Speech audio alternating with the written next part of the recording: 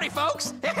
Old Man McGucket here again with another one of my fantastic ideas. You know, I seen this number on my computer box, but I couldn't tell you how it got there. Oh, I don't recall. Maybe it's a date or an old-timey phone number, but you know what I think? I bet it's the coordinates for the passage back to Possum Town.